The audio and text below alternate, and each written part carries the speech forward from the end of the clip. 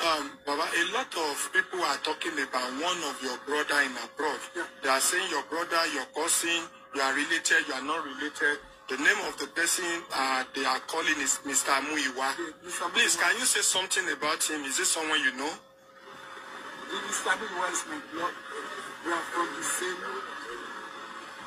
mother relation.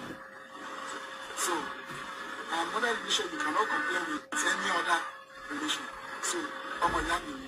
Okay. So, are you as satisfied with all the role he's been playing in regards to this case? Are you satisfied? Yeah, I'm really satisfied, but people are saying bad thing against him that we are we are collaborating in some and which is all this rubbish.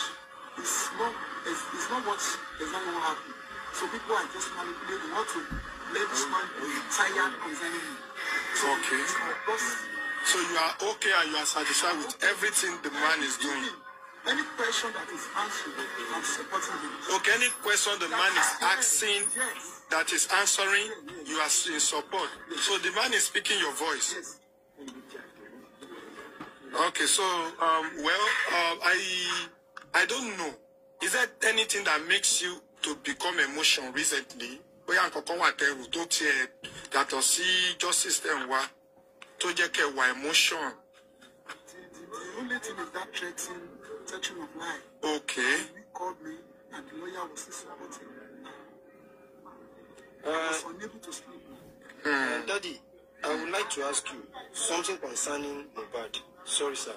That very day when you get there, condition tẹ bá Mohbad àti ibi tán tẹ Mohbad sí, báwo ló ṣe rí lára yín? Ṣé òkun tẹ bá yẹn ṣé ó look fresh bí ẹni tó kú lọ́jọ́ Tuesday yẹn gangan gangan? Àbí báwo lẹ ṣe bá condition body ọmọ yín? Ó look fresh. Ó wọṣọ fún. Tí mo lè ní pé Tuesday ni. Hmm. Pé Tuesday ni. Short tó wà lára mi. Ó ní wọ́n tún. Mi ò lè ya fọ́tò. Aṣọ ẹ̀jẹ̀ tó wà lókè. Mi ò lè ya kọ́kọ́ mọ́. Ò lè. Mo ti láwọn aláfa. Èmi ti pọ̀. Èmi ni mi ò gbọ́ pọ̀. Nílé Mohbad. Ẹ wọ́n wá síbẹ̀. Àwọn aláàfáà tẹ bá yẹn, ǹjẹ́ ẹ láǹfààní láti jọ sọ̀rọ̀ pọ̀? Ó jẹ́ àwọn aláàfáà. Ah, ọ̀rọ̀ tí ẹ̀mú mi lọ sí i ó jẹ́ àwọn aláàfáà tí wọ́n pè nígbà tí mo sọ̀rọ̀ nípa two acres of land tí wọ́n gbà lọ́wọ́ mi. Hmm. àwọn náà ni mo padà rí. Tí mo ṣiṣẹ́ fún àwọn ìyàwó mi. So anytime wọ́n wá síbẹ̀. The same set of ni Alphas that you met during the land saga tó ọ̀rọ̀ ilẹ̀ This together then nígbà tí wọ́n gba two acre and they are the same set of Alpha that you met during the when Mohbad died. wọ́n pè wọ́n mọ̀ ní nọ́mbà mi mọ́ láti pè mí Who called them? I don't know. Okay, do you have anything to say about Darusha? Ṣé ẹ mọ̀ báwo ló ṣe jẹ́ sí yín? It's, um, a brother to Mohbad Okay, from mother side. from mother side. Okay, So they are very close. He's the PA to Mohbad. Have any encounter with him recently after the death of Mohbad? There's No call. There's nothing. But the only advice I give to him is that um, what I'm expecting from him is when this thing happened, I was not expecting him to come out to say the truth, to let people know that ah, this man is innocent. Is a innocent. He knows. He knows nothing about the death because the body was already embalmed before I arrived. Those are the areas that I was expecting as a blood brother to come out to let people know the truth, to, to let people know what is exactly happened in that house, which is hiding to many people. So those are the areas that I'm expecting him to talk, but he refused to say anything. Uh, since that very day, sir, uh, or in on that day when you are there, uh, we heard that the a representative of a popular musician, Davido, you met him in the compound, and we heard that the representative walks up to you to offer you a sum of two million naira for Mohbad burial. Uh, that very day ṣé ó ṣàlàyé fún yín pé owó yìí o wọ́n ní kàn fi ṣe ìsìnkú Mohbad ni àbí kí náà sọ fún pọ́n fẹ́ fowó yẹn ṣe. firstly mo dúpẹ́ lọ́wọ́ wọn. Wọ́n nífẹ̀ẹ́ ọmọ yẹn náà ni. Nígbà tí wọ́n ti gbọ́ representative ilé wa bá mi. Mo wá wò pé owó kí ni mo fẹ́ gbà? Fún owó yẹn fún pa mo dey point sí um, um, Darusha. darusha. Gbogbo wọn yẹn ìgbà tó dẹ̀ gbowó wọ́n dẹ̀ ṣe fídíò kọ̀ láti bá Davido sọ̀rọ̀. Mo dúpẹ́ lọ́wọ́ ẹ̀ wípé èmi ni mo gbowó ẹni tí ó wà lọ́wọ́ ẹ̀ because ọmọ mi ò lè kúkú sọ pé mo máa ń tẹ́wọ́ fún owó kí ni? Ní tí mo bá lọ síbẹ̀ kọ́ ni? Mo dúpẹ́ ìlú kò tẹ́ kí n mo ilẹ̀ fún but at the end ní ìgbà tí ọ̀rọ̀ bẹ̀rẹ̀ sí jáde ó send one million naira padà sí mi. And one million naira tó send sí mi lọ fi ṣe fence tí wọ́n sì mú bá tí bá débẹ̀ sí ṣe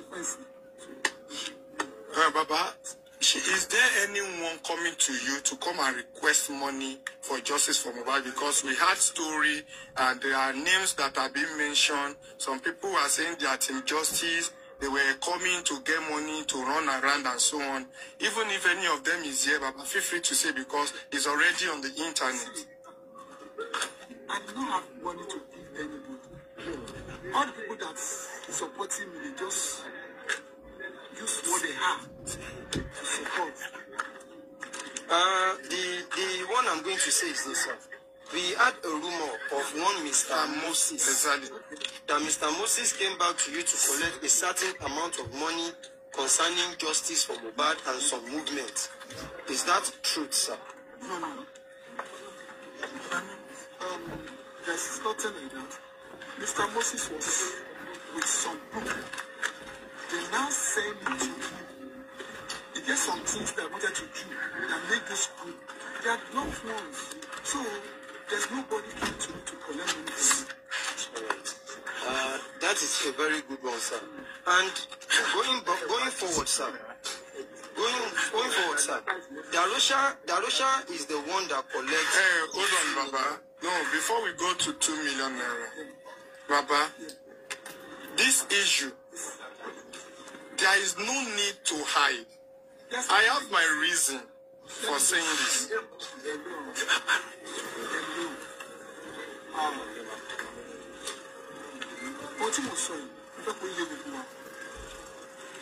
moses mi ò dédé mọ̀ Okay.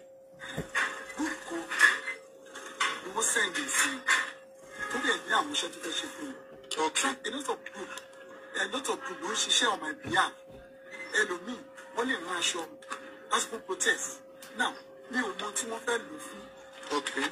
wọ́n lọ wọn wá sọ́dọ̀ mi Eh. now kí fún ọ ní two hundred thousand naira Okay. for a purpose tí mo lè rí pé àwọn loved ones fẹ́ wọ́n nífẹ̀ẹ́ mi náà ló rán wọn wá so I don't have any. Okay, so two hundred thousand tẹ fún is for a purpose. Ó gbà á. ó gbà fún àwọn èèyàn láti ṣe so sí for me Okay.